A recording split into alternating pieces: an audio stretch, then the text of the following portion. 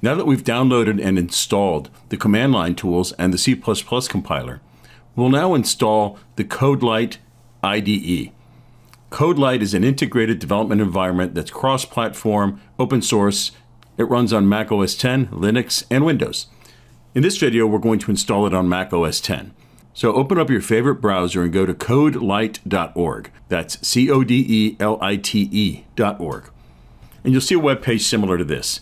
You want to find the download link. You can see one here at the top bar menu, and there's also this big blue button, which is the one I'm going to click on. I'll select that, and it takes you to a page where you can contribute to the developers if you wish, or you could just go straight to the downloads, and I'll do that. So I'll select right here, not now, take me to the download.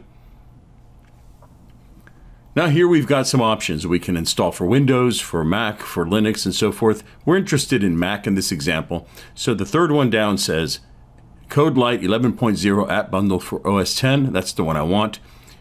And I'm going to select the direct link to begin the download. The file is not very large, but the download's quite slow from this site. I'll pause the video while the download occurs. Once the download is complete, you can see that it's downloaded a compressed archive file. So I'll do, what I'll do is I'll open that and I'll double click on it to uncompress it.